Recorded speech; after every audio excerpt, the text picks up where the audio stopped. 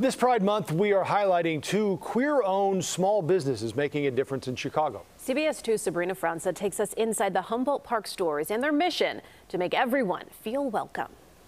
HH. It was such an Humboldt House. escape. Not a house, a store. Rainbow love, just everywhere you go. For some, it's home. Yeah, it was just like a, the first place where I felt really, really like I could be myself. Raindrop Winker started working here a year ago. They came out as trans and bisexual at around the same time. I've changed my name three times since I worked here in a year. A queer owned feminist gift shop.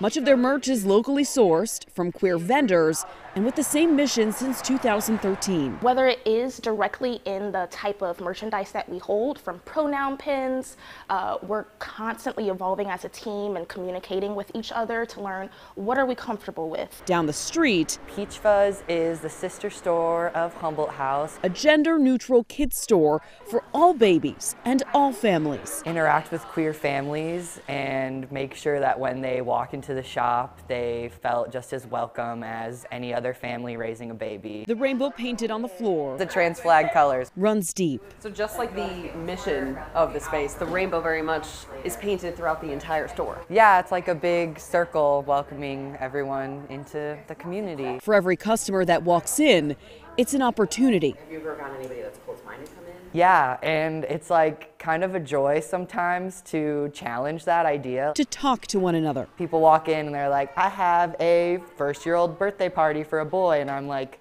okay, well, our store is gender neutral. So, like, are they a space kid? Are they an arts and crafts kid? Are they a jungle kid? to share their mission Investing in yourself, you're investing in others. and their pride It's like beautiful. in Humboldt product. Park. Sabrina Franza, CBS 2 News.